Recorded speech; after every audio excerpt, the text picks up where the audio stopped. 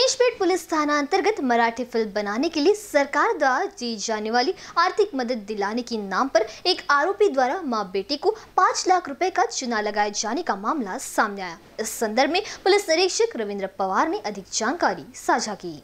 प्राप्त जानकारी के अनुसार पुलिस ने गजानन गेट महल निवासी दीपा प्रदीप गोली की शिकायत पर मामला दर्ज किया है। आरोपी जोगेश्वरी, मुंबई निवासी धर्मेंद्र चुन्नीलाल बिनकर बताया गया, दीपा के बेटे को एक मराठी सिनेमा बनाना था। मार्च 2017 में उसका परिचय धर्मेंद्र से हुआ। धर्मेंद्र ने बताया कि मराठी फ़िल्म बनाने के लिए राज्य सरकार द्वारा आर्थिक मदद की जाती है।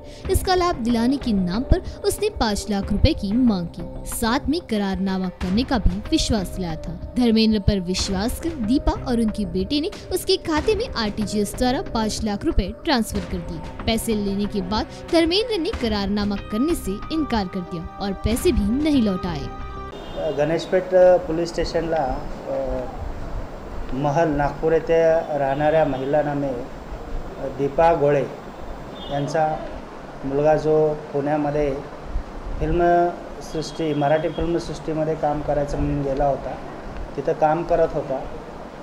आणि दीपा गोळे ह्या ज्या आहेत त्यांनी पोलीस स्टेशनला तक्रार दिली होती की त्यांच्या मुलाची मुंबईमध्ये राहणारा एक व्यक्ती आहे धर्मेंद्र बिनकर म्हणून. याच्याशी ओळख झाली.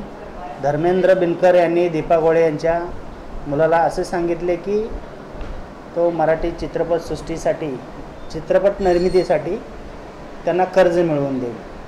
आणि साधारण काहीतरी अडीच कोटीचं कर्ज मिळवून देईन असं त्यांनी सांगितलं होतं. त्याच्यामध्ये चित्रपटसृष्टीत निर्मिती करण्यासाठी जर तुम्हाला कर्ज पाहिजे असेल तर त्यासाठी पाच लाख रुपयाची त्यांनी डिमांड केली म्हणजे ॲज अ आपण प्रोसेसिंग फी म्हणतो ना कर्ज मिळण्यासाठी प्रोसेसिंग फी ती पाच लाख रुपये तुम्हाला भरावी लागेल असं त्यांनी त्यांना सांगितलं. धर्मेंद्र बिनकर या व्यक्तीच्या सांगण्यावरून दीपा यांच्या मुलीने मुलाने धर्मेंद्र बिनकर यांना आर टी जी एसद्वारे पाच लाख रुपये कर्ज मिळण्यासाठी पुरवले, दिले त्यांना. लंबे समय तक वह टाल मटोल करता रहा. आखिर परेशान होकर दीपा ने मामले की शिकायत पुलिस से की. पुलिस ने धोखाधड़ी का मामला दर्ज कर आगे की जाँच आरंभ की है।